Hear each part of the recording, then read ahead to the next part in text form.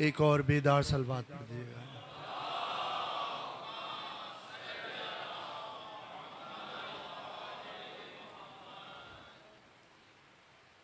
अब क्या बताएँ हम के है? क्या क्या हुसैन का। अब क्या बताएँ हम के है? क्या क्या हुसैन का? जो कुछ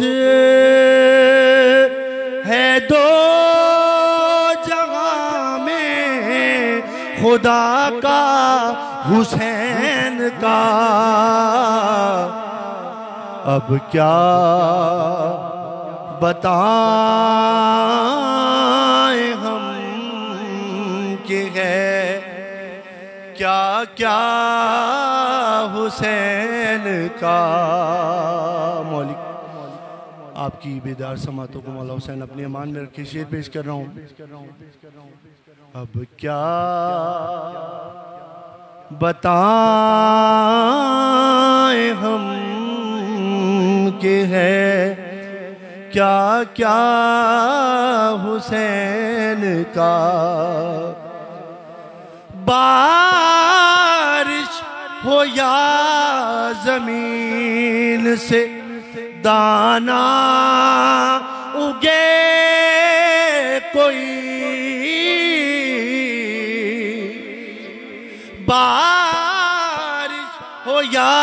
ज़मीन से दाना उगे कोई। अरे समझो समझो, खुदा ने भेजा है सदका हुसैन का।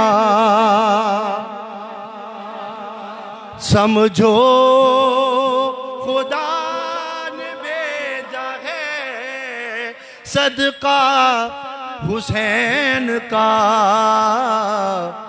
अब क्या बताएँ हम के है? क्या क्या हुसैन का? शेर देखिए बतौर खास। शाबीर की बुलंदी को नापे जरा कोई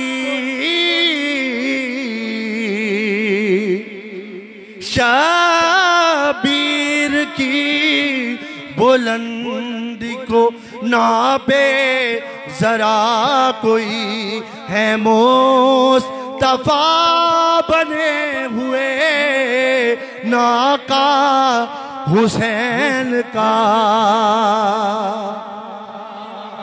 है मोस्तफा बने हुए नाका हुसैन का। अब क्या बताएँ हम के है क्या क्या हुसैन का जो मुमीन अभी तक बाहर हैं, ये शेर उनकी नज़र करता हूँ, गौर फरमाइएगा। जाना है खुद जिसको यहाँ के बैठ जा। जाना है खुद जिसको यहाँ के बैठ जाए। अरे मजल से मजल से नहीं है, ये है सफीना हुसैन का। अब क्या बताएँ हम के है? क्या क्या हुसैन का के रसूल अज में अली सब्र फातिमा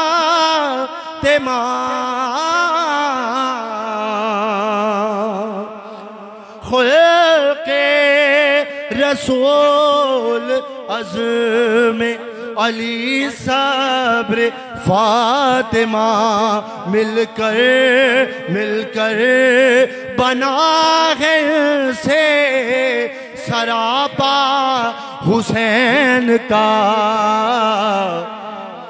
अब क्या बताएँ हम कि है क्या क्या हुसैन का शायर अलबैर जनाब जनाब शुजात अब्बास जैदी का कलाम आपकी समातों की नज़र कर रहा था। मक्ता देखिएगा बतौर ख़ास बहुत खूबसूरत मक्ता लिखा है। मालिक उनकी तोफ़ीक़ात खैर में फरमाए। शेर देखिएगा बतौर ख़ास। सैरा के, के दर पे शजात हो से फराज। सैरा के, के दर पे शजात हो सर फराज। धरती धरती के सर का ताज है। रोजा हुसैन का। अब क्या बताएँ हम के है क्या क्या हुसैन का। मिलकर बाबा से बुलंद सलवार सलवार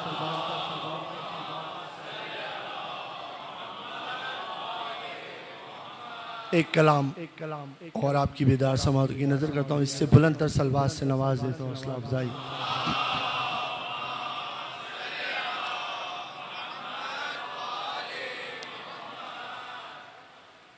इस वक्त मैं क्या मांगू?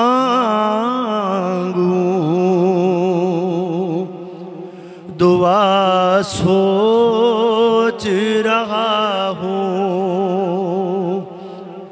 इस वक्त मैं क्या मांगू? दुआ सोच रहा हूँ।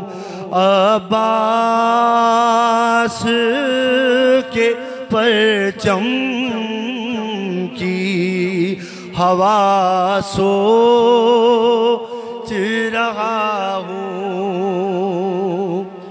अब्बास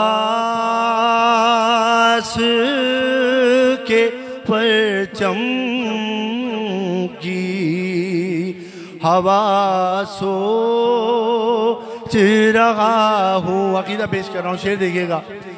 कुछ देर को बैठूँगा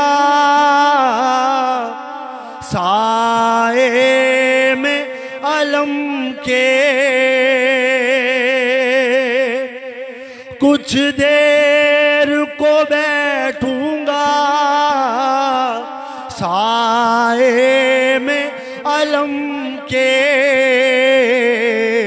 बीमार हूँ।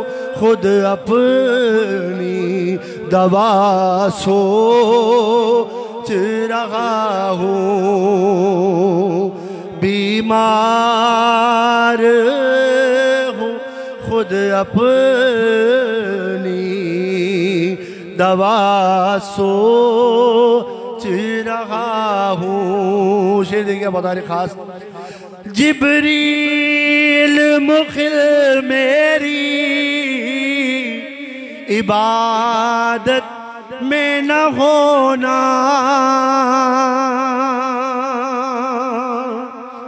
जिबरील मुख मेरी इबादत में न होना। अब्बास के बारे में जरा सो। सलामत रहा। हूँ। अब्बास के बारे में जरा सोच रहा हूँ। जो दार पे मीसम की जुबा लूट चुकी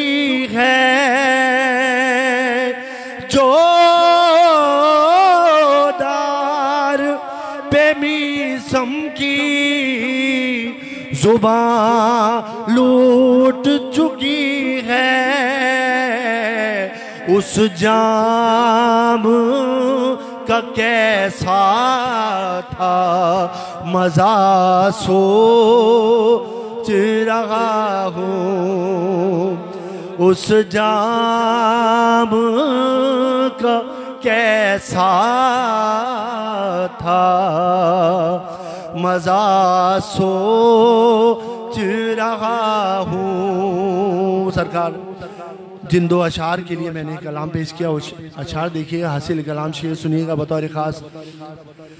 अब्बास को अब्बास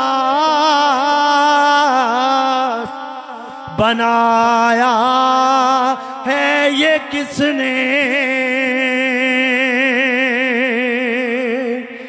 अब्बास को अब्बास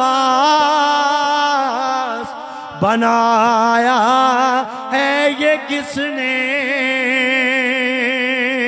अब्बास को अब्बास बनाया है ये किसने? वो मश्को अलम है या रिदा सोच रहा हूँ। वो मश्को अलम है या रिदा सोच रहा हूँ। मोमिन हो तो बेतेग लड़ता है सिपाही। मोमिन हो तो बेतेग भी लड़ता है सिपाही। बेदस्त वो किस तरह लड़ा सोच रहा हूँ। बेदस्त वो किस तरह? लड़ा सोच रहा हूँ। आबास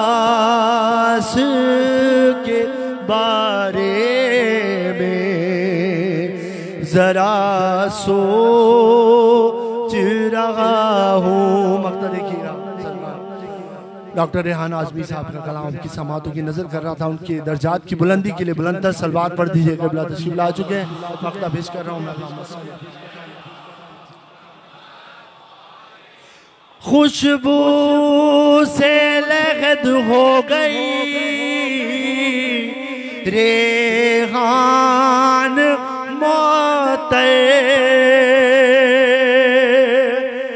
खुशबू से लगद हो गई। रे रेहान मौत। मरकद में कदम किसने रखा सोच रहा हूँ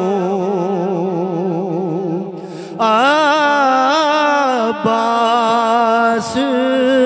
के बारे में जरा सोच रहा हूँ।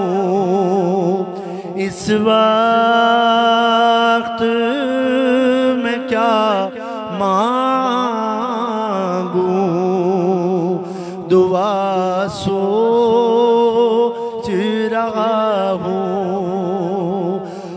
अब्बास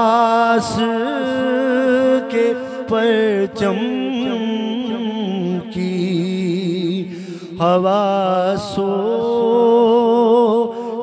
रहा हूँ। बराए खुशनूदी इमाम ज़माना अलैहिस्सलाम बुलंदर सलवार।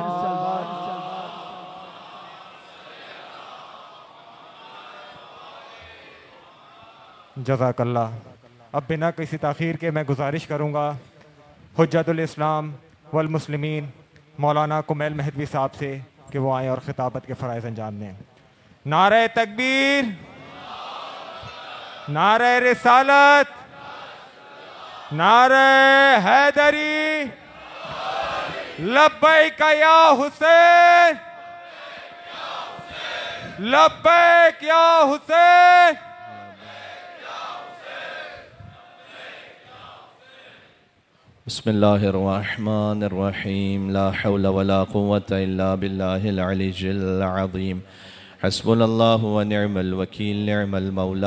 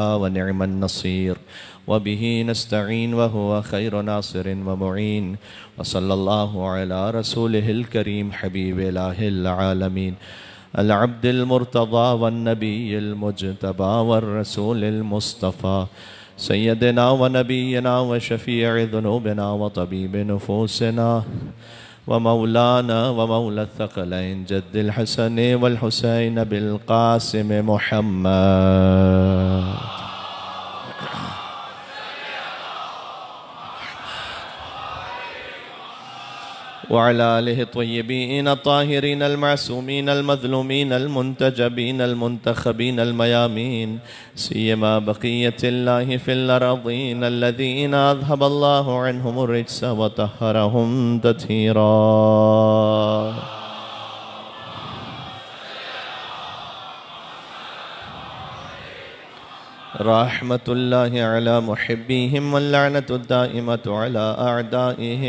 अजमैन इससे पहले कि मैं दुआ शुरू करूँ, अगर आपके पास दाहने बहाने जगह मौजूद है तो आज की हद तक गुजारिश करूँगा और करीब आ जाइएगा। मोमिन चूँकि बाहर तशरीफ़ फरमाए तो वो यहाँ बारिश से महफूज होते हुए फ़र्श अदा पर आ जाएँगे। अगर एक एक कदम आ सकते हैं तो आगे तशरीफ़ लाइए। सलावाद भेज कर मोहम्मद वाले मोहम्मद पर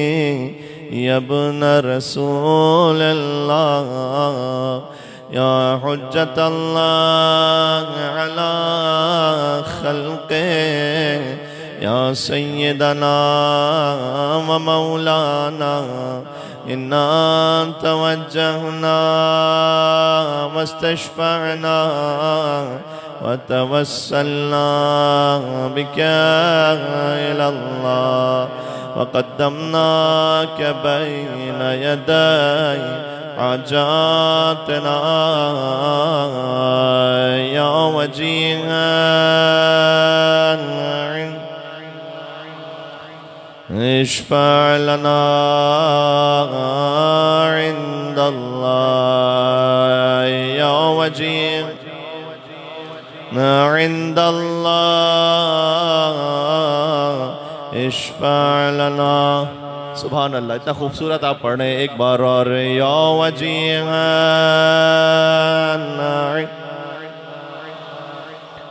इश्फलना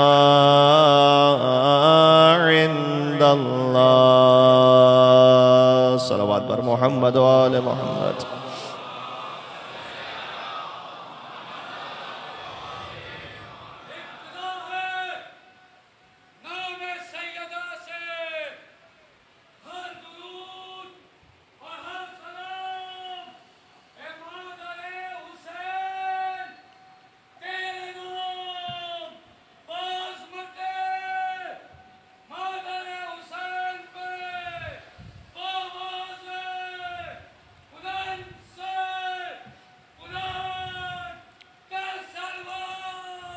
अल्लाहुम्मा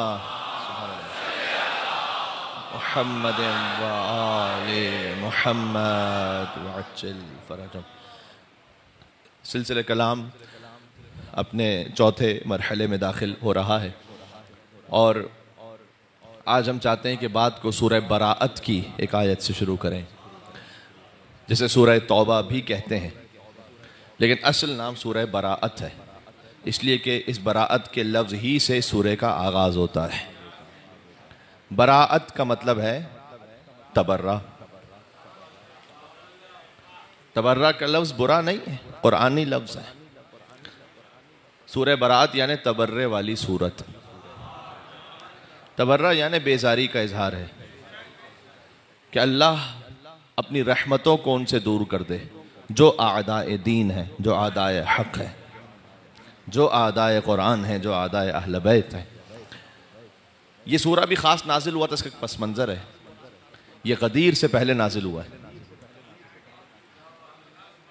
उससे जो पहला साल था, हुजूर मुकरम ने एक ही हज अंजाम दिया। और उस हज पर गोया, हबीब और मबूद। इनका मुश्तरका मंसूबा ये था कि सबसे ज़्यादा मजमा हो। तो उस एतबार से इस बात का ख्याल किया गया कि गोया एक ही जब हज था हुजूर मुकरम का तो हर सहाबी की ये तमन्ना थी कि मैं हुजूर के साथ हज कर लूँ। अब बहुत सौ को नहीं मालूम था कि उस हज के अख्ताम पर कौन सा ऐलान होने वाला है।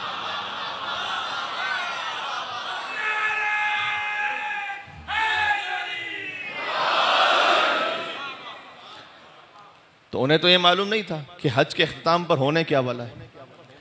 तो इसके लिए बाकायदा ये कहना चाहिए कि एक तमहीद बनाई गई पूरी। उस तमहीद में मुबाहला भी है, क्योंकि गदीर है दस हिजरी और मुबाहला है नौ हिजरी। यानी आप गौर फरमाइए, हुजूर मुकरम का विसाल है ग्यारह हिजरी। सफ़र मुजफ्फर, अट्ठाईस सफ़र। यानी ग्यारह हिजरी के इब्तदा में हुजूर की वफ़ात हो गई। तो नौ हिजरी और दस हिजरी, ये जो आखिरी दो साल थे ना, इसमें यके बाद दीगरे मुतद वो आयतें नाजिल हुई कि जो आज, माशाल्लाह, हमारे बच्चे बच्चे को याद है। मंबर इमाम हुसैन इस्लाम की बरकत से। आय मुबाहला इसी अरसे में नाजिल हुई। आय तथहर इसी अरसे में नाजिल हुई। आय विलायत इसी अरसे में नाजिल हुई। हाँ? देखें अगर गुफ्तु हो इमाम हुसैन इस्लाम और कुरान पर तो हजूर मुकरम वो तशरीफ़ ला चुके दुनिया में। मौला अली, बीबी फातमा सलाम इमाम हसन आसमाम लेकिन आय मुबाहला रुकी हुई है कि जब तक हुसैन ना आए। आयत तथी रुकी हुई है कि अभी हुसैन नहीं आए। जब हुसैन आएँगे तो मुकम्मल पंजतन है। पंजतन को मुकम्मल करने वाले हैं। तो नौ हिजरी में मुबाहला है। अच्छा मुबाहला है, कौन सी तारीख? बच्चे बच्चे को याद है। चौबीस जिलहज। चौबीस जिलहज ही के सुबह को आय तथीर नाजिल हुई। ये कम मोमिन जानते हैं कि आय तथीर सुबह ही को नाजिल हुई। मुबाहला की आयत पहले नाजिल हो चुकी थी कि आयत पहले नाजिल हुई थी मुबाहला चौबीस को हुआ ना, कि तुम ले आओ अपने बेटों को। तो हो सकता है कि तकरीब जहन के लेके शायद आए मुबाहला तेईस जिलहज को नाजिल हुई हो। कि हबीब, फमन हाथ जा कफ़ी बाद जा का मिन इल्म। आ जाने के बाद अगर ये कट हुज्जती दिखा रहे हैं, कट हुज्जती का मतलब हट धर्मी, मैं ना मानू। अगर ये इस तरह से कट हुज्जती दिखा रहे हैं, कौन? नजरान की ईसाई। नजरान की ईसाई वो हैं इसकी थोड़ी सी हिस्ट्री सुनिएगा ताकि आप उसको, मैं, बुज़ुर्ग तो जानते हैं, माशाल्लाह, बच्चे समझ सकें कि तसलसल क्या है और वो रिलेट कर सकें। जो नौ हिजरी का साल है ना, उसको कहते हैं आमुल वफूद, यानी ईयर ऑफ़ डेलीगेशंस हुजूर के पास मुख्तलिफ़ जगहों से, क्योंकि अब हुजूर की हुकूमत इतनी इस्टेब्लिश हो चुकी थी कि वो जो अल्लाह के नाम पर ना सही, लेकिन एक बादशाह समझते हुए कम अज़ कम मिलने आना चाहते थे हुजूर से। लोग ज़ाहिर को देख कर मुतासर होते हैं ना तो पहले तो वो हक का पैगाम कुछ उससे मुतासर हो गए। कुछ वो थे कि नहीं, अब इनकी हुकूमत इतनी बढ़ गई है तो ज़रा जाके देखो कि कैसे हैं। इनसे ताल्लुक बनाओ। अगर हो सकता है तो हमारे ताल्लुक इनसे कायम हो जाए। इसलिए बहुत सारे लोग मिलने आते थे, फिर हुजूर के अखलाक से मुतासर होते थे। हुजूर का अखलाक जानते हैं क्या था? देखें, आज का जो ज़माना है ना, उसमें वैल्यूज़ बड़ी बदल गई हैं। हुजूर के ज़माने में सिलसिला ये था कि प्रोटोकॉल वगैरह नहीं था। वो ये था कि हुजूर जब बैठे होते थे ना तो बाहर से कोई आता था तो इस तरह साहबा कराम के साथ हुजूर बैठे होते थे कि बाहर से आने वाला पूछता था, मन मोहम्मद इनमें मोहम्मद कौन है? अच्छा ये मैंने प्रोटोकॉल की बात की, देखें, हिफाजत के लिए सिक्योरिटी के लिए कुछ चीज़ें ज़रूरी होती हैं। वो सबको समझ में आता है, उल्की हालात हैं मुहर्रम हराम का महीना है। फिर उसके बाद जो नमूद नुमाइश है, वो फिर हर एक के अपने अपने नीयत पर है कि किसका क्या नीयत और किस क्या मिजाज है किसका। क्या करूँ? मेरी समझ में नहीं आता, दिल जलता है। कहीं ऐसा ना हो कि इसे कोई और जहनीत में लेके चला जाए, लेकिन मैं कह ही दूँ, जब दिल पे बात आ रही है तो उसका मतलब यह है कि मौला ये चाहते हैं कि देखें आप इस नमूद व नुमाइश से मुतासर होकर, और कीजिएगा, किसी मजलिस को बड़ा, किसी को छोटा कोई आज़ादारी बड़ी, कोई आज़ादारी छोटी, ये ना समझे। ये अपने जहन में रखें।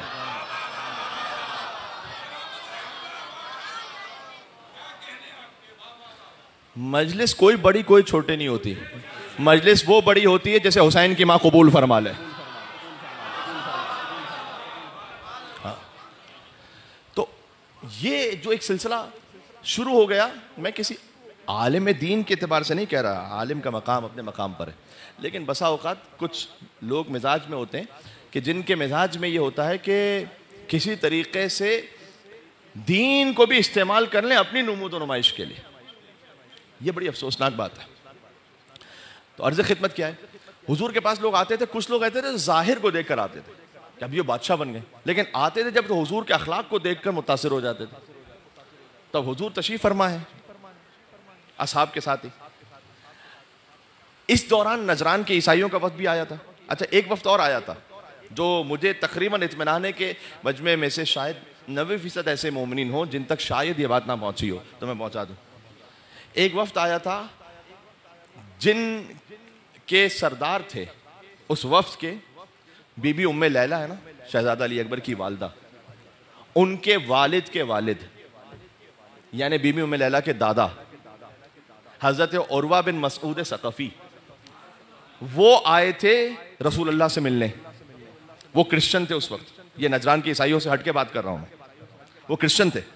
वो मिलने आए, हुजूर मकरम के पास पहुँचे और हुजूर के अखलाक से मुतासर होकर उन्होंने इस्लाम कबूल किया।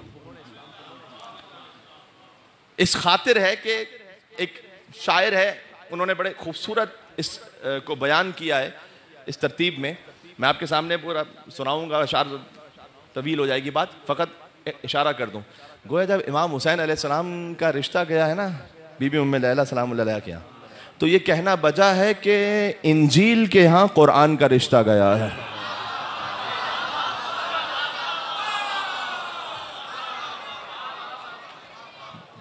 जिसका समरा है, हम शक्ल मुस्तफ़ा। एक बेटा जो शबी मुस्तफ़ा है सुबहान अल्लाह। मीर अनीस रहमत ने कहा कि हज़रत अली अकबर सलाम के लिए कि आफाक में वो सानिय सुल्तान अरब था। है? आफाक में वो सानिय सुल्तान अरब था। एक मोहर नबूवत ही न थी, और तो सब था।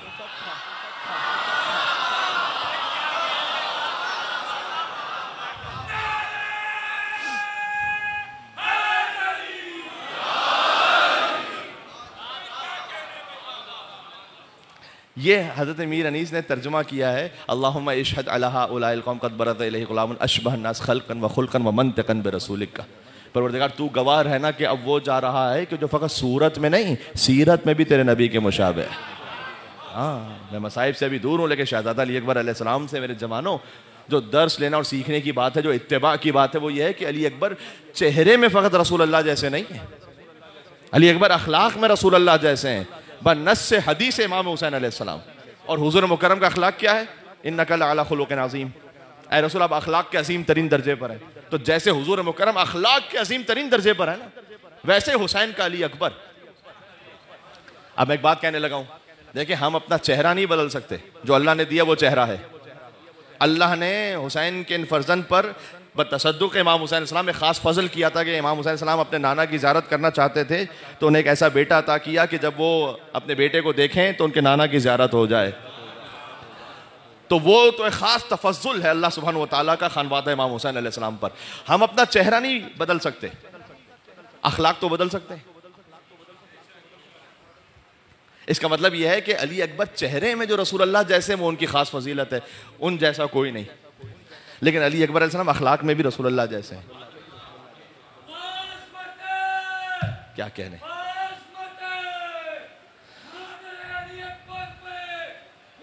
सुबह अल्लाह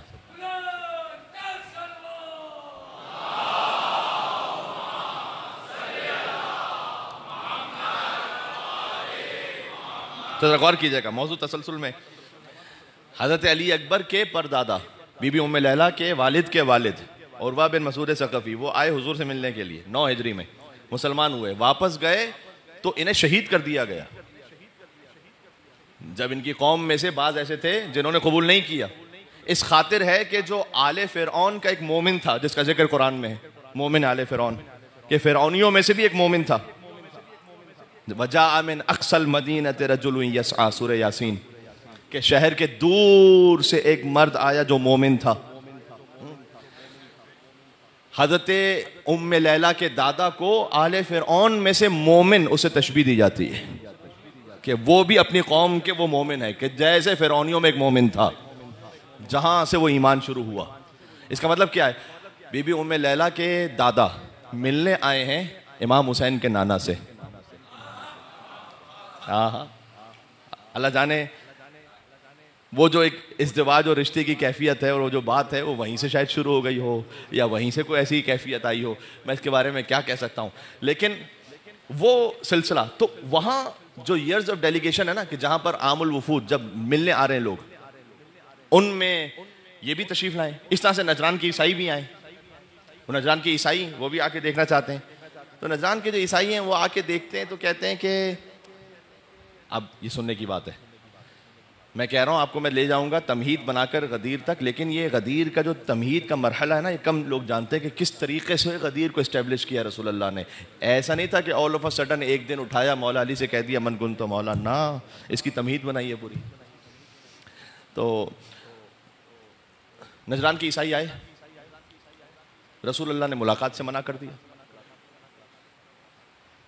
अरे, हमने तो सुना था इनका अखलाक बड़ा अच्छा है, ये तो मिल मिल ही नहीं रहे हमसे। क्यों नहीं मिल रहे?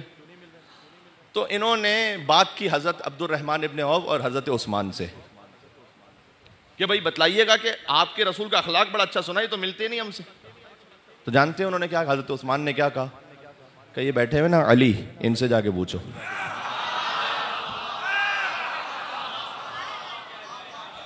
हाँ जो तारीख है वो मैं पढ़ रहा हूँ। कहा कि ये जो अली बैठे ना, इनसे जाके पूछो। यानी हज़रत उस्मान रज़ी अल्लाह तहो वो ये समझते थे कि मोहम्मद तक पहुँचने का रास्ता अली है।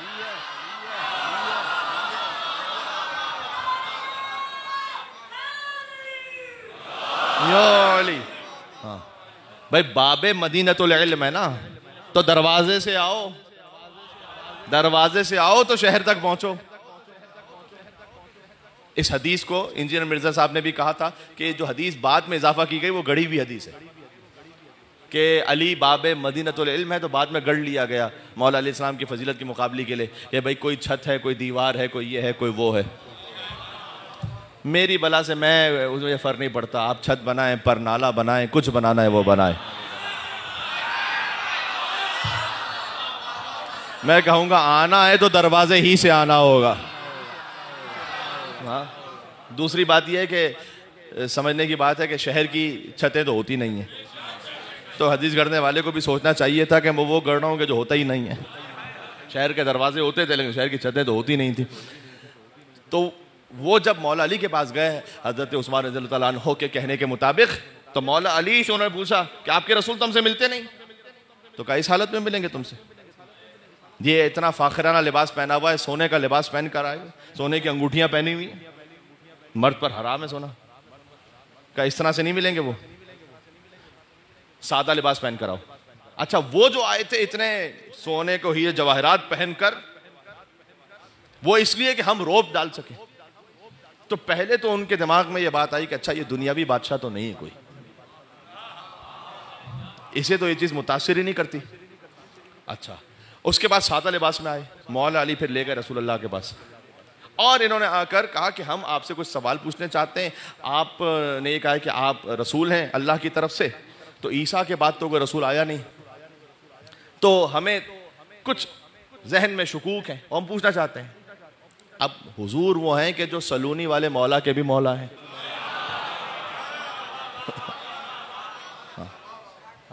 तो हुजूर से वो पूछने आए अच्छा उन्होंने पूछा किस तरह से? बड़ी अपने हिसाब से ज़बरदस्त तरतीब बनाई है। उन्होंने कहा कि ये बताइए कि यूसुफ के वालिद कौन थे? का याकूब थे। का अच्छा मूसा के वालिद कौन थे? का इमरान थे। तो आपके वालिद कौन है? का अब्दुल्ला है। का फिर ईसा के वालिद कौन हुए? वो कहना चाह रहे हैं कि नबी तो बगैर बाप के इसका मतलब होता नहीं है। भाई, यूसुफ के बाप हैं याकूब, मूसा के बाप हैं इमरान, आपके बाप हैं अब्दुल्ला। तो ईसा का भी तो कोई बाप होगा?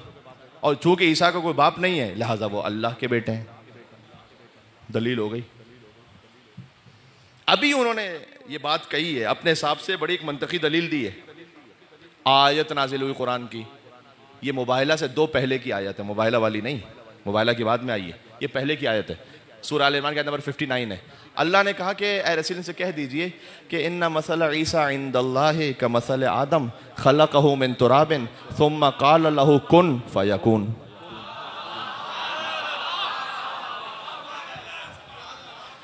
इनसे कह दीजिए कि अल्लाह के नज़दीक ईसा की मिसाल आदम की मिसाल है।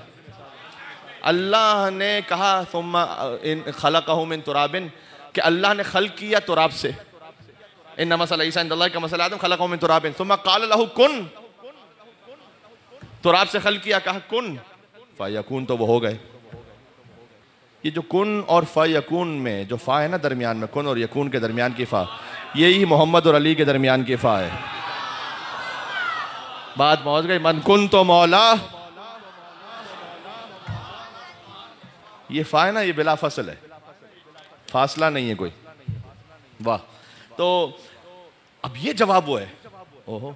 इसका मतलब ये है कि हुजूर मुकरम ने जो आयत सुनाई है, हुजूर ये कहना चाह रहे हैं अगर तुम ये कह रहे हो कि ईसा बगैर बाप के आए हैं और नबी का तो कोई ना कोई बाप होता है, इसका मतलब ये है कि नौजबिल्ला अल्लाह उनका बाप और अल्लाह के बेटे हैं। तो फिर आदम तो बगैर बाप के भी हैं, बगैर माँ के भी हैं। तो आदम ज़्यादा सजावार हैं कि अल्लाह के बेटे हों। ईसा क्यों बेटे हैं? अल्लाह के आदम को होना चाहिए। अब ये दलील ऐसी है कि हाँ हाँ अच्छा। इसका जवाब कोई नहीं। क्योंकि वो जो ईसाई हैं, वो आदम सलाम को नबी मानते हैं। ईसाई आदम सलाम को नबी मानते हैं। उनकी किताब में एडम एनी ईव, आदम हवा के किस्से मौजूद हैं। तब ये दलील काने कुनंदा है। उन्होंने कहा अच्छा हम सोच के बताते हैं आपको। अगले दिन आए फिर। का वो जो आपने बात कही थी, वो हमारी समझ में नहीं आ रही। हम अपनी कौम से जाते हैं, जाके बात करते हैं। और मंसूबा ये था कि अब जाएँगे चूँकि अब बात तो है नहीं कोई। तो हम जाएँगे वापस और नजरान के ईसाइयों से कहेंगे कि देखो, हम मिलकर आए थे। हम तो मुतासर नहीं हो सके। इसलिए कि हक सामने आने के बाद भी कौन ये हीरे, जवाहरात, सब ये इकतदार, सब छोड़े? तो कोई लाइव टेलीकास्ट तो हो नहीं रहा था ना कि मदीना से उन्हें पता चल रहा हो नजरान में कि क्या हो रहा है। ये तो जो जाके बताएँगे वो होगा। हम काम आयत ही नहीं बताएँगे ने हम तो ये कहेंगे कि हमने बात की, वो मुतमिन जवाब नहीं दे पाए। खत्म। ये उठने लगे तो कुरान ने रोक लिया इन्हें। पमन हाथ कफ़ी है बाद मा जा का मिन जो इल्म आने के बाद भी कट हुज्जती कर रहा हो फ़कुल तो इनसे कह दीजिए तालो बुला लो नदू अबना आना व अबना को तुम अपने बेटों को लाओ हम अपने बेटों को लाते हैं वह निशाना व निसाकुम तुम अपनी औरतों को लाओ अपनी औरतों को लाते हैं वन फुसाना वन फुसाकुम तो अपने नफ्सों को लाओ अपने नफ्सों को लाते हैं तुम मन अब तहिल फिर मुबाहला कर लेते हैं फनज अल्लाह काजबीन तो झूठों पर अल्लाह की लानत को तलब करते हैं। ये एक इंपॉर्टेंट बात है, यहाँ पर फनज अल, काश में आज पहुँचा सकूँ इस लफ्ज को। फनज अल, हम करार देंगे, हम वजूद में लेकर आएँगे। अल्लाह की लानत को झूठों पर। इसका मतलब क्या है? इसका मतलब यह है, ये अहल बैतम की विलायत तकवीनी की तरफ़ इशारा है। यहाँ पर यह नहीं कहा गया फलानतुल्लाकाजबीन झूठों पर अल्लाह की लानत हो। हम ज्यारत वारसा में क्या पढ़ते हैं? लान कतलत का। वलान मतन वलमत का। वलान मतन समेत बिदाले का फ़रजियत भी थोड़ा सा मैं सत्य से यहाँ बात बुलंद करूँगा, जरा गौर कीजिएगा। हम कहते हैं, अल्लाह की लानत हो, उन पर जिन्होंने अब अब्दुल्लाम को शहीद किया, जिन्होंने जुल्म किया, जिन्होंने सुना और राज़ी रहे। अल्लाह की लानत हो। हम अल्लाह की लानत को ईजाद नहीं कर रहे खुद से। एक है अल्लाह की लानत, हम तो खबर दे रहे हैं। अल्लाह की लानत हो। यहाँ पर है फनज अल्लाह काजबीन। हम वजूद में लेकर आएँगे। अल्लाह की लानत को झूठों पर हम वजूद में लेकर आएँगे। झूठों पर लानत करने के लिए तो वही जाएगा जैसे ज़िंदगी में कभी झूठ ना बोला हो।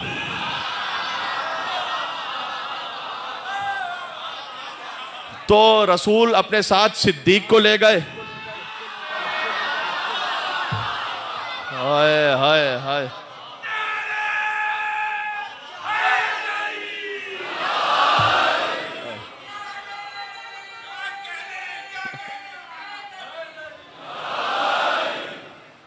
रसूल अल्लाह अपने साथ सिद्दीक ही को ले जाएँगे ना।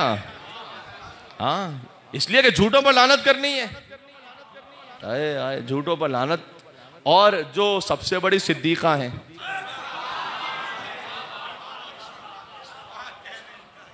मैं आपसे कहूँ, मुबाहला तो है ही दर हकीकत, फतह मादर इमाम हुसैन।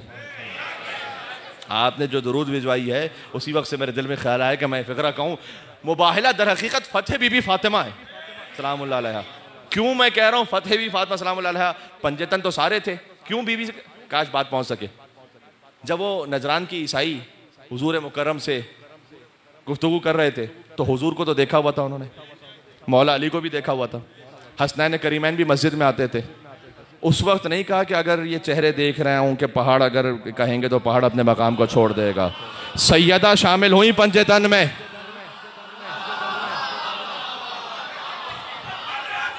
सुबह अल्लाह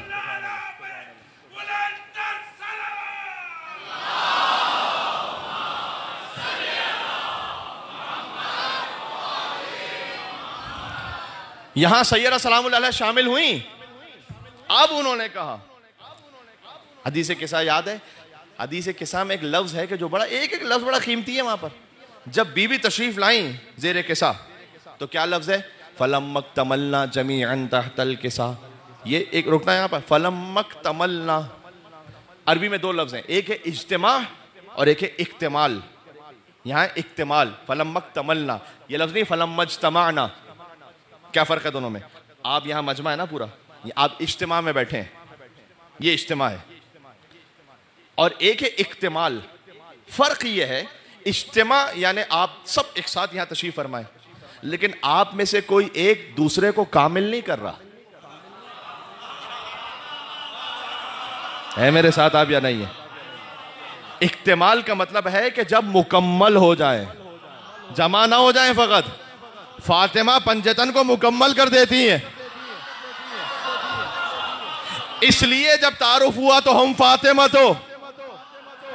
वह अबूहा, व बालुहा, व बनूहा, मिलके सलवात बेदे नाम हज़रत जहरा सलाम पर।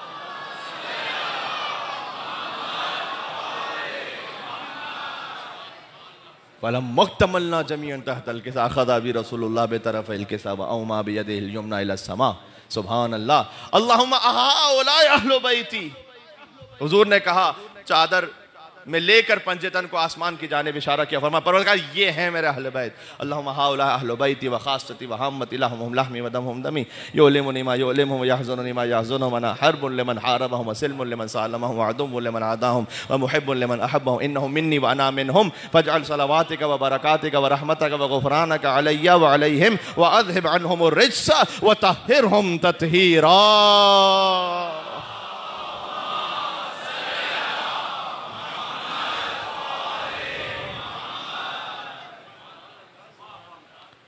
कि तुम अपने बेटों को लाओ, अपने बेटों को लाते हैं? जा कहा रहे हो? अभी रोको। और झूठों पर अल्लाह की लानत तलब करते हैं। तुम अपनी औरतों को लाओ, अपनी औरतों को अपने नफ्सों को, अपने नफ्सों को। खुदा कसम, पूरा दीन है यहाँ पर अभी हुजूर लेकर चले बेटों में हसन हुसैन को। मौलाना अजहर हसन जैदी साहब अलैह, उनका एक फ़िक्रा याद आ रहा है। चूँकि हजूर मुकर्रम के जो फर्जन थे, वो तो वफ़ात पा चुके थे, इब्राहिम अलैहिस्सलाम। कासिम सलाम अब लोगों को ये उम्मीद है कि हुजूर का अपना बेटा तो कोई है नहीं। तो हम ही बेटा बनकर जाएँगे फिर। बड़े बड़ों में उम्मीद थी कि हम हुजूर के बेटों की तरह है ना तो हम बेटों में जाएँगे। अब मैं मौलाना अजहर हसन जहरी साहब का जुमला सुना रहा हूँ, अरबी और उर्दू को मिलाकर। मेरे साथ रहना। हुजूर मुकरम ने हसन और हुसैन सलाम को साथ लिया। फरमाया, ये है मेरे अब ना आना और तुम अब ना आना।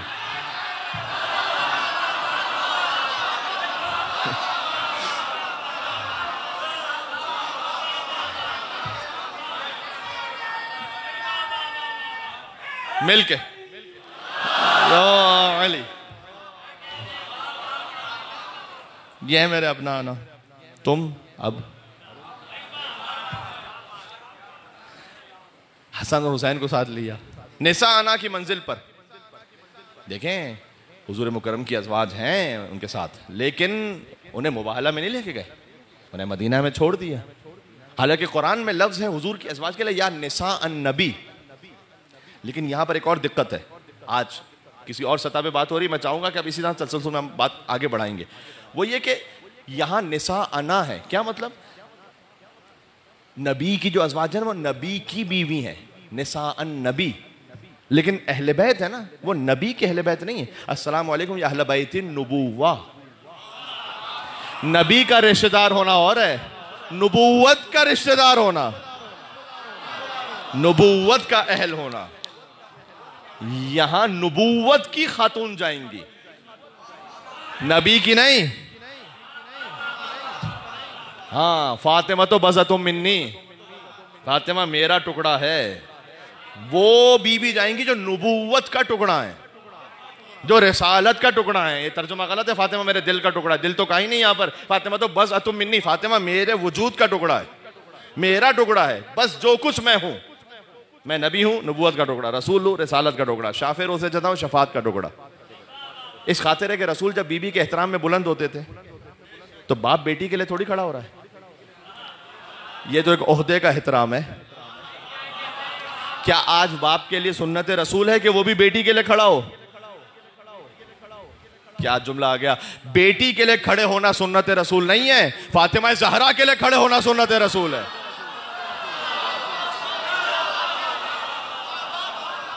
हम्म। बेटी के लिए खड़े होना सुन्नत रसूल थोड़ी है। सैयदा के लिए खड़े होना सुन्नत रसूल है। आप इस फ़र्क को महसूस कर रहे हैं? क्या ही खूबसूरत बात। आयतुल्ला वहीद खुरासानी जही में हौजा इल्मिया कुम। उनकी बात याद आई मुझे। वो कहते हैं कि आप ज़रा तस्वूर फरमाइए कि जब बीबी तशरीफ़ लाने, कुल्लमा कानत दखलत फातिमा, जब भी बीबी आती थी। अच्छा यहाँ पर रिवायत में ये नहीं कि जब वो जवान हो गई, तब तशरीफ़ लाती थी। जब भी, यानी बचपन के आलम में भी। काम इलेहा। हुजूर फकत खड़े नहीं होते थे। काम अब बिहा नहीं है, काम इलेहा। आगे बढ़ के इस्तकबाल करते थे। वह अजला सहाफ़ी मजले से ही। और उन्हें वहाँ बिठाते थे जहाँ खुद तशरीफ़ फरमा होते थे। ये हुजूर ने क्या समझाया? गदीर में अली के लिए मेंबर बनाया। और सैयदा को फिर वहाँ बिठाते थे घर में जहाँ खुद बैठे होते थे। यानी हुजूर ने समझाया कि देखो, वो खिलाफत के मेंबर पर कोई भी बैठ जाए। मेरे मकाम पर या अली बैठेंगे या फातिमा बैठेंगी।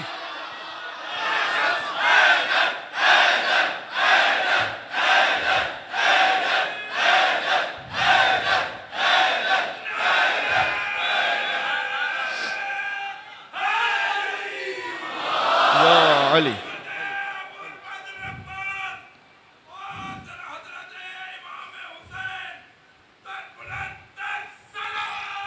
अल्लाह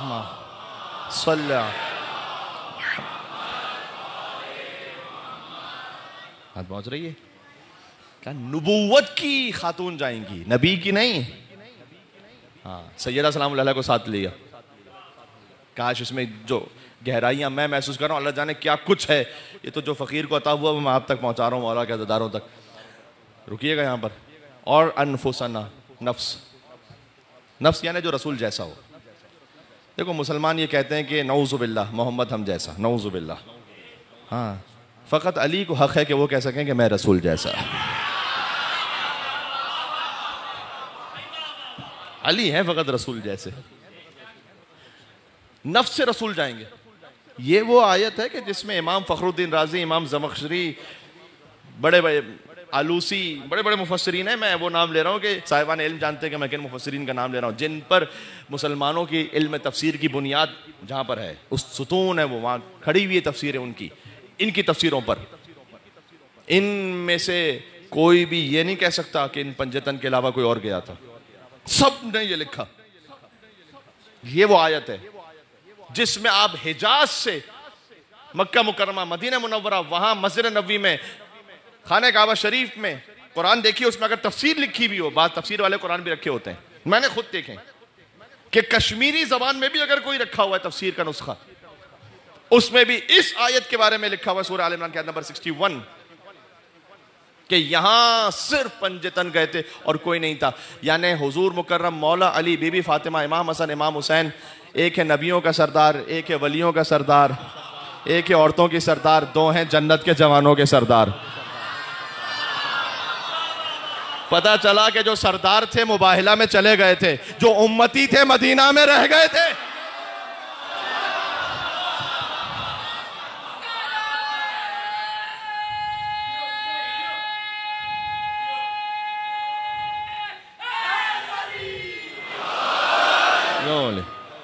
सरदार गए मुबाहिला में। सैयद गए तो जिसे अगर आपने आपको सैयदना कहलवाना है, मैं सबको कहूँगा सैयदना, बताओ मुबाहिला में थे या नहीं थे? मैं कहूँगा सैयद सबको, मुबाहिला में थे या नहीं थे, मुबाहिला में सैयद गए जी अनफुसाना वानफुसकुम अच्छा यहाँ मुश्किल पता है क्या? अब मुश्किल ये है कि अबना आना तीन बेटे। कम अज कम, लफ्ज ये है, कुरान में। प्रूरल है, जमा का सीख है। जमा यानी तीन, कम अज कम तीन। अरबी जबान में जमा तीन के लिए होता है। निसा आना, तीन औरतें। अनफुसना, तीन मर्द। तीन नफ्स। यानी रसूल अल्लाह के अलावा इस आयत में नौ लोगों की गुंजाइश है।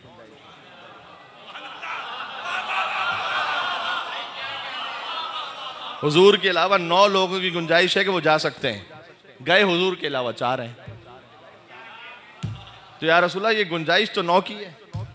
लेके चार को गए हाँ। आयत हुजूर कहना चाह रहे हैं, आयत खुली हुई है, ओपन है।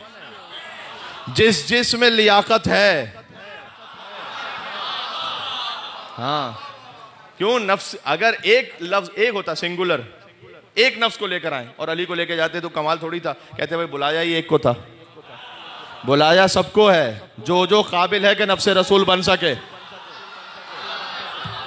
हाँ जो जो काबिल है कि बन सके, आए। जो जो नबूवत की औरत बन सकती हैं, आए। जो जो नबूवत के बेटे बन सकते हैं, आए। ये नफ्स का जब मतलब जानते हैं, नफ्स इतना भारी लफ्ज है ना ये, नफ्स रसूल। यानी अब जो कुछ रसूल को हासिल है, वो उस नफ्स को हासिल है।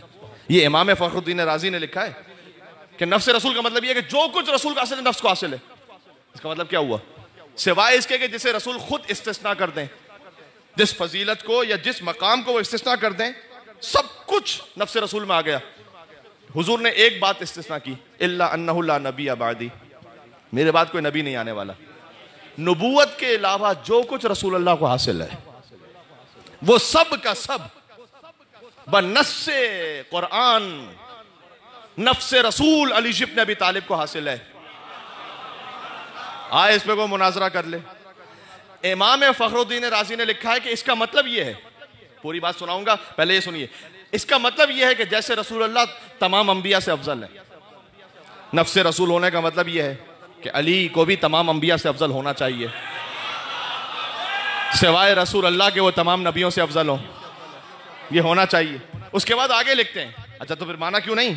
आगे लिखते हैं कि ये नफ्स रसूल का मतलब तो है, लेकिन ये खिलाफ इजमा है कि कोई गैर नबी किसी नबी से अफजल हो जाए। वो कहते हैं खिलाफ इजमा है। इसलिए हम अली को अफजल नहीं मानेंगे। जो पूरी बात है वो मुझे करनी चाहिए अमानत के साथ। हम अली को अफजल इसलिए नहीं मानेंगे, बाकी अंबिया से, इसलिए कि खिलाफ इजमा है। अली नबी नहीं है नहीं है। तो गैर नबी किसी नबी से अफजल नहीं हो सकता। अब इसे मेरे दो तबसरे सुन लीजिएगा। पहली बात तो ये हुजूर के कुरान की आयत के मुकाबले में आपके इजमा की औकात क्या है?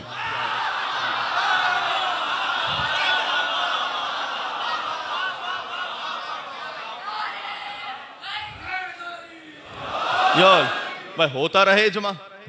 हमारी बला से। हमने कोई हर इजमा का ठेका लेके रखा हुआ है क्या? कि जो भी इजमा होगा हम मानेंगे। भाई कुरान की आयत है। कुरान की आयत के मुकाबले में कौन सा इजमा हो गया? पहली बात तो ये। दूसरा ये है कि अगर ये इजमा मैं किताब अल बुखारी से बातिल कर दूँ तो। देखे मैं उसूल काफ़ी से अगर बातिल करूँगा अगर मैं मल्ला या हजरफ़ी से बातल करूँ, तहजीब, इस्तफसार से, बिहार से, मफातुल जनान से तो आप कहेंगे, जनाब, ये तो आपके घर की किताब है, हमारा इजमा, आपके घर की किताब से हमारा इजमा थोड़ी बातिल होगा। लेकिन अगर मैं सही तरीन किताब, सही बुखारी से एक हदीस सुनाऊँ, जिससे ये इजमा बातिल हो जाए। हदीस number three one nine three जाके देखिएगा किताब अल बुखारी में। हुजूर ने कहा कई फन तुम इस नसल अपनो मरियम फीकुम व इमामुकुम मिनकुम? तुम्हारी क्या कैफियत होगी कि ईसा आसमान से नाजिल होंगे? और इमामत वो नहीं करवाएँगे, इमाम तुम में से होगा। ओहो। हो हो ये बात पहुँच गई? इमाम तुम में से होगा। किताब अल बुखारी में, इमाम बुखारी ने अल्लाह जाने पता नहीं कौन सी एहतियात की या क्या छुपाना चाहते थे, उन्होंने नाम नहीं लिखा यहाँ पर। हदीस में तो हुजूर ने नाम भी लिया था। लेकिन शारहीन बुखारी ने लिखा, फतहुल बारी फ़ी शरह सही बुखारी। और शाहरीन बुखारी ने लिखा कि यहाँ इमाम महदी मुराद हैं। मैं तो कहता हूँ, इमाम महदी, हम तो सब जानते हैं, बच्चा बच्चा जानता है। इमाम महदी, इमाम होंगे, हज़रत ईसीम नमाज़ पढ़ेंगे। लेकिन मैं तमाम मुसलमानों से, जहाँ जहाँ इतने कैमरे लगे हुए, जहाँ तक आवाज़ जा रही, मैं ये कर रहा हूँ कि आप इमाम महदी को ईसा का इमाम न भी माने तो लेकर आइए कोई। हदीस में है ना? इस उम्मत में से कोई लेकर आइए, जो जुरात करे और कहे कि मैं ईसा रूहुल्लाह का इमाम बनूँगा। लेकर आइए कोई। किसी भी फिरके से लेकर आइए कोई भी मुफ्ती लेकर आइए कहीं का भी इमाम जमात लेकर आइए हिम्मत है क्योंकि क्या मैं ईसा रूहुल्ला का इमाम बनूँगा। काश ये हासिल मजलिस जुमला कह रहा हूँ, किसी में ज़रूरत ही नहीं। बल्कि मैं कह सकूँ, अगर मेंबर से जवान इस्तेमाल करते हुए, चूँकि मामला ऐसा है, किसी के बाप में ज़रूरत नहीं।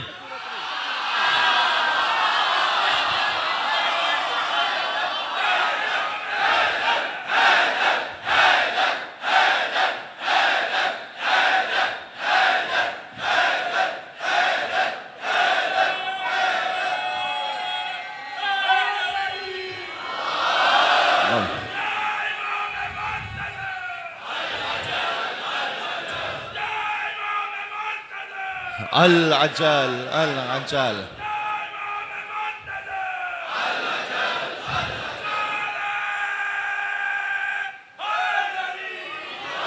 या अली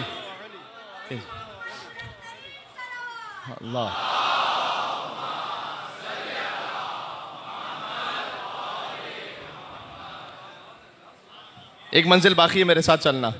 अभी तो मैंने जुमला कहा, आपने उसे बहुत कबूल किया अपने उस जज्बा ईमानी के साथ। मैंने कहा, किसी की हिम्मत नहीं कि जो कहे कि ईसा रूहुल्लाह का मैं इमाम बनूँगा, बल्कि किसी के बाप की हिम्मत नहीं। जो ये कहे कि मैं ईसा रूहुल्लाह का इमाम बनूँगा। फकत अली की औलाद, मासूम औलाद, वो ये कह सकती है कि हम ईसा के इमाम बनेंगे। जानते हो क्यों? दलील दे रहा हूँ। फकत अली और अली की मासूम औलाद। ये कह सकती है कि हम ईसा के इमाम बनेंगे। पता है क्यों? इसलिए कि ईसा का इमाम बनने के लिए कम अज कम मुर्दे को ज़िंदा करने आना चाहिए।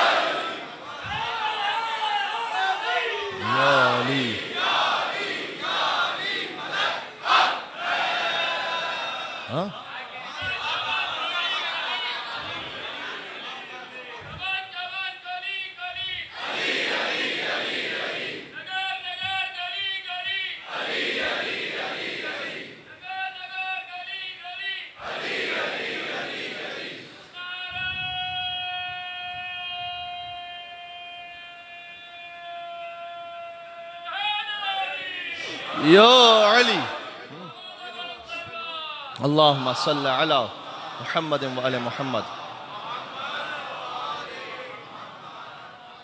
बात पहुँच गई? इसलिए किसी में हिम्मत नहीं कि ये कह सके कि मैं ईसा का इमाम बनूँगा। ईसा का इमाम वो बन सकता है। हाँ वरना मुख्तदी तो मुर्दे को ज़िंदा करे। और इमाम मुर्दे को देखकर खुद मुर्दा हो जाए।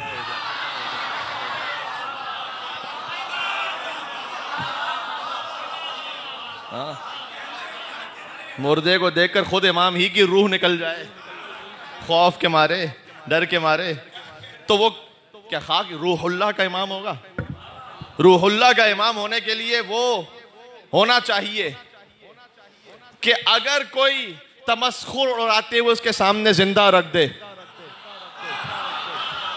और वो जनाजा पढ़ा दे तो वो मुर्दा हो जाए।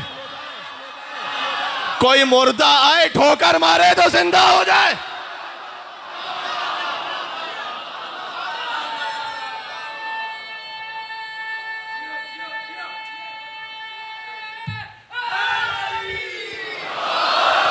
अली।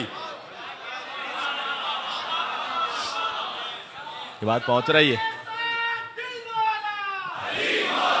अली मौला। अली मौला। मिल के कहते मैं मसाइब पे जा। यो, अली। बात आज यहाँ तक पहुँची है। कल यहीं से बात आगे बढ़ेगी। अभी वो तमहीद स्टैब्लिश होना पूरी बाकी है। हम नौ हिजरी में हैं अभी। और हुजूर मुकरम ले गए।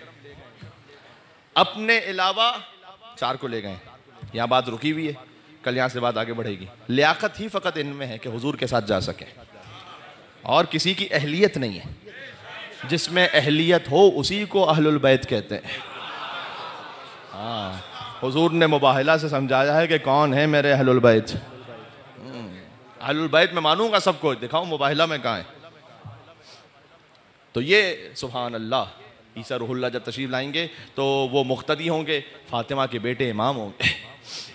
क्या बात रुक रही है अजीज़ों। नबियों में जो सबसे ज़्यादा शबी है ना, इमाम हुसैन अलैहिस्सलाम के, वो ख़ुद हज़रत याहिया अलैहिस्सलाम है। हज़रत याहिया अलैहिस्सलाम वो नबियों में सबसे ज़्यादा शबी हैं इमाम हुसैन अलैहिस्सलाम के। क्यों? इमाम ज़माना, इमाम ईसा अलैहिस्सलाम के, और हुसैन अलैहिस्सलाम से जो सबसे ज़्यादा शबी हैं, वो हैं याहिया इब्ने ज़करिया। क्यों? इसलिए हज़रत ज़करिया के सामने जब दुआ वो पेश की गई ना कि जो आदम अलैहिस्सलाम के सामने दुआ जबरील ने सिखलाई थी कि, इलाही बेहक मोहम्मद वानतल महमूद, व बेहक अली वानतल आला, व बेहक फ़ातिमा वानत फ़ातिर समावत वलद व बेहक हसन वानतल मोहसिन, व बेहक हुसैन वानत कदीम एहसान। जब ये दुआ सुनी हज़रत ज़करिया ने तो उन्होंने कहा कि ए जबरील, मैं जब हुजूर मुकर्रम का नाम सुनता हूँ तो मेरा दिल खुशी से शाद हो जाता है। जब मैं अली मुर्तज़ा का नाम सुनता हूँ इस दुआ में तो मेरा दिल मुतमिन होता है। जब मैं हुजूर की बेटी का नाम सुनता हूँ तो मेरा दिल तस्लीम हो जाता है। हसन मुशतबा का नाम सुनता हूँ तो तब भी दिल में मुसरत है। लेकिन जब आखिरी ये नाम कौन सा है? जैसे ही हुसैन का नाम लेता हूँ, वह बेहक्ल हुसैन। तो मेरा दिल बड़ा मखमूम हो जाता है। हाँ देखें वो अम्बिया थे, उस मकाम मारिफत पर थे कि नाम हुसैन फ़कत। दिल की कैफियत बदलने के लिए काफ़ी था।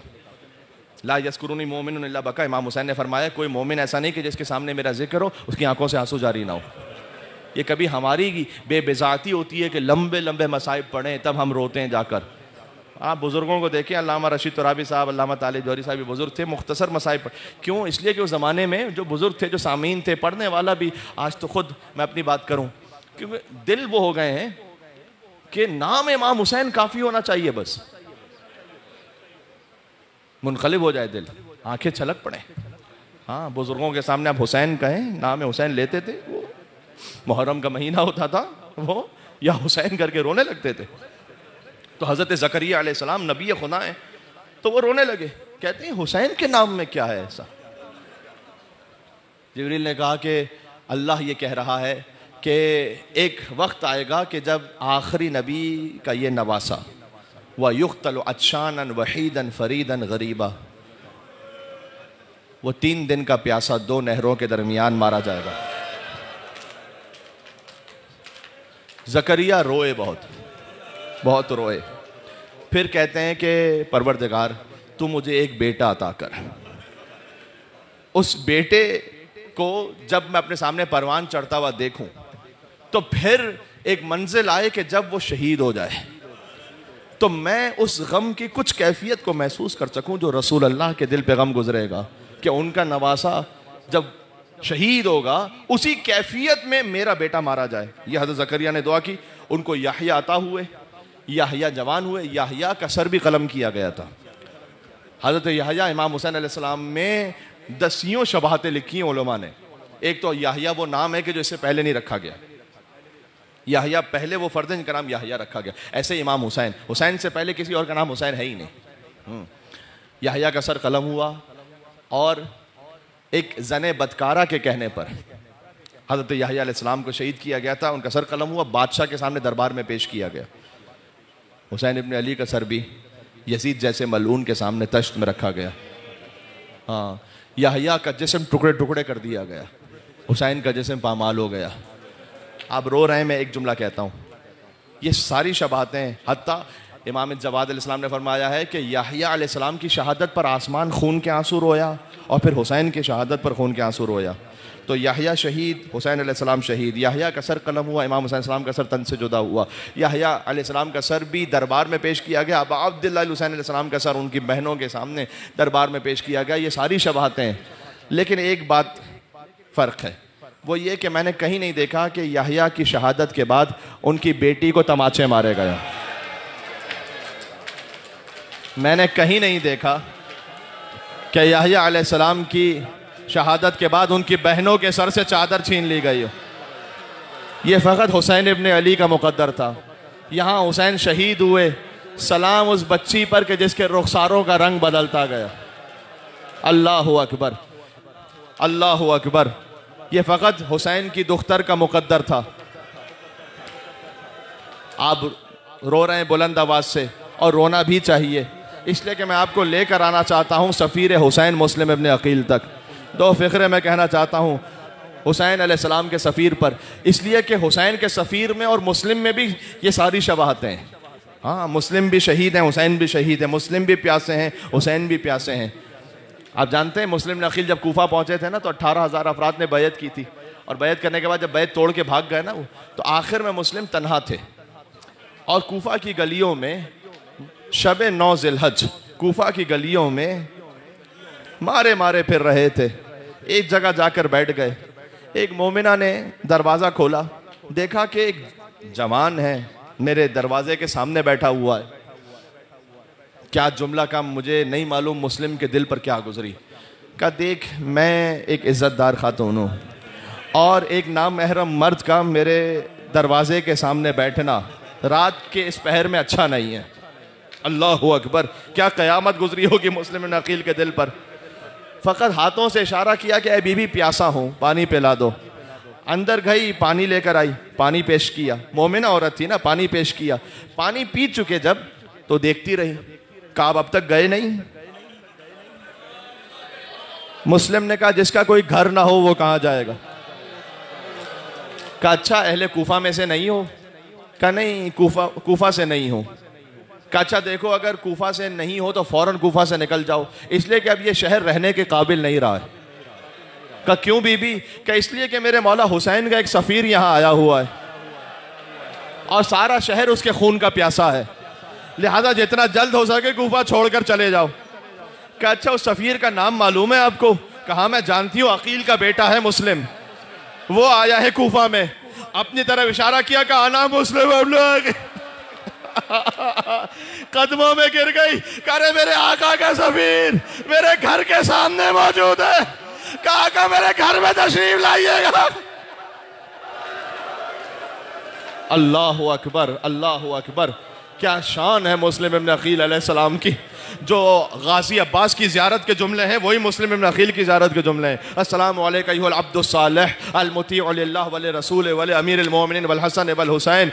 जाओ करबला इन तो गाजी की ज़्यारत पर ये जुमले कहना और फिर कोफा जाना मुस्लिम अकील की कब्र पर, वहाँ पर ही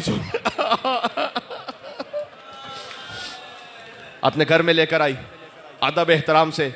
एक सरदाब था उसके घर में, कहा आका आप यहाँ तशरीफ़ रखिए उसका बेटा ये जो मोमिन औरत जिसका नाम तोआ है, ये मेरी माएँ बहनें सुन रही हैं, ज़रा सुने।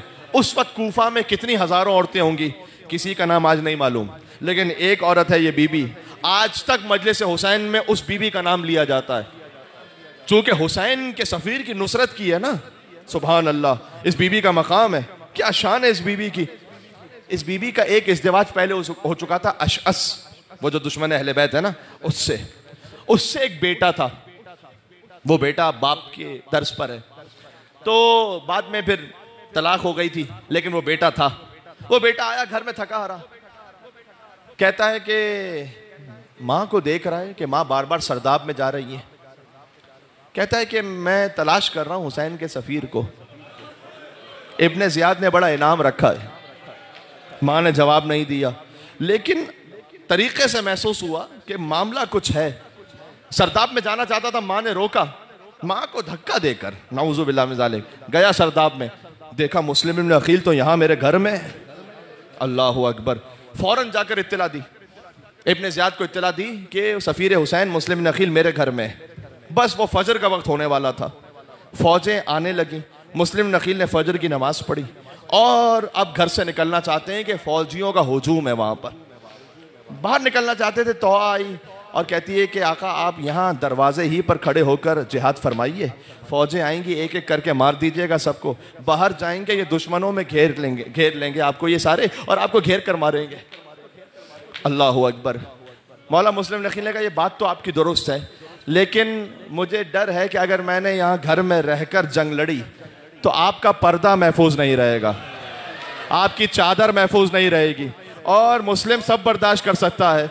लेकिन किसी मोमिना की चादर मुस्लिम के सामने छीन ली जाए यह मुस्लिम से बर्दाश्त नहीं होगा। मैं कहूँगा, ए शहजादा मुस्लिम अकील का शाम गरीबा होते? मेरा बीमार इमाम सैयद सज्जाद। सज्जाद के सामने कोई सैनब की चादर छीन गया। क्या गुजरी होगी? जजाक अल्लाह हाँ मैं तारीख भी सुना रहा हूँ, मसाइब भी पढ़ रहा हूँ, ताकि बच्चों तक तारीख पहुँचे। मुस्लिम नकील बाहर निकले और बेपना जंग की।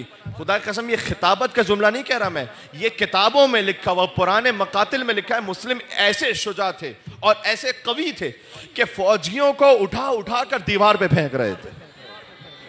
ये जलाल का आलम था। उन्होंने कहा कि ये ऐसे नहीं मारे जाएँगे, गिरफ़्तार ऐसे नहीं होंगे गड़ा खोदो। एक गड़ा खोदा गया, उस पर चादर बिछा दी गई। और कहा, ले आओ मुस्लिम को इस गढ़े के पास.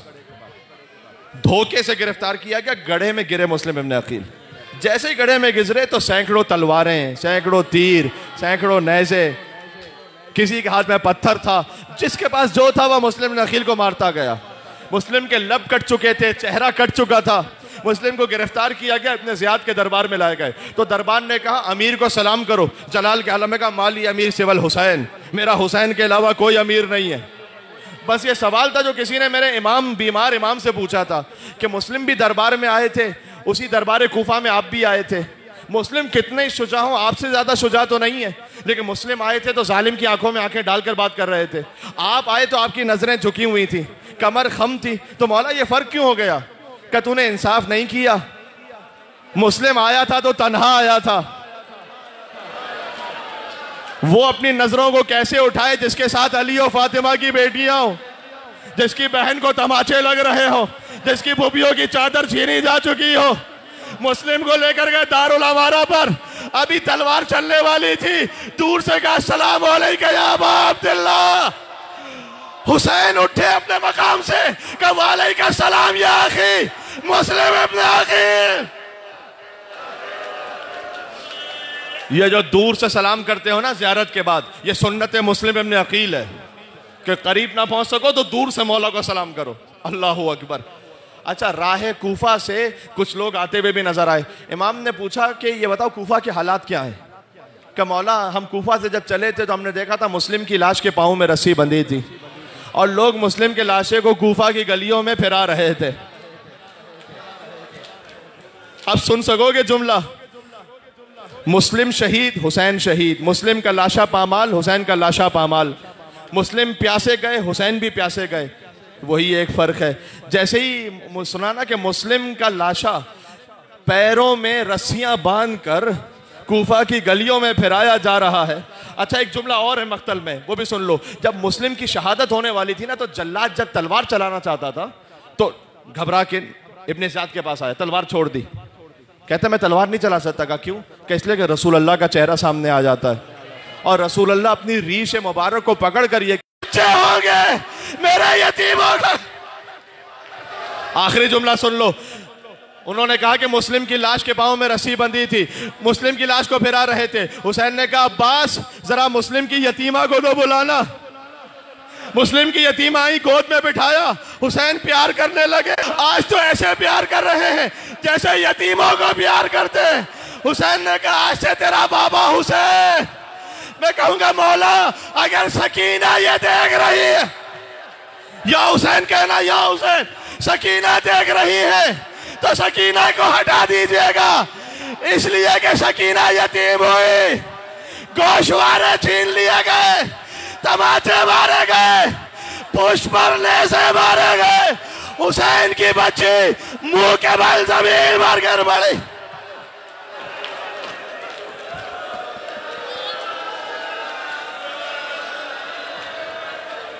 जैसे मुस्लिम इब्न अकील सलाम ने दूर से सलाम किया था, वैसे ही मजलिस इमाम हुसैन में दूर से सलाम करना। मेरे मौला गाजी अब्बास और मेरे मौला हुसैन सलाम को सब मिल के कहना, सलाम या अबा अब्दुल्ला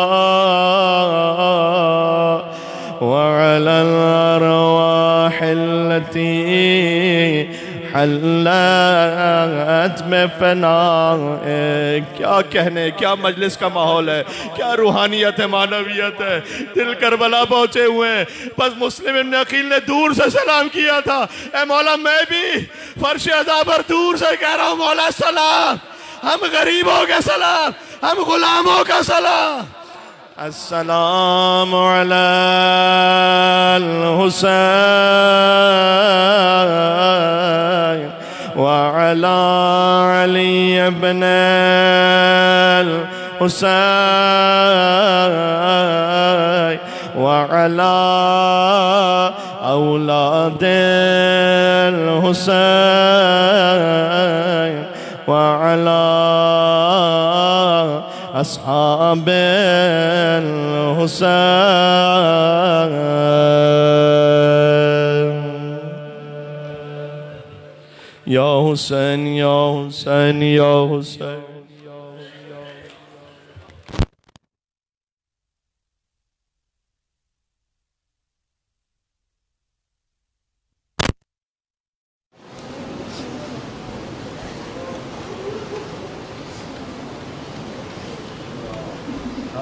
time.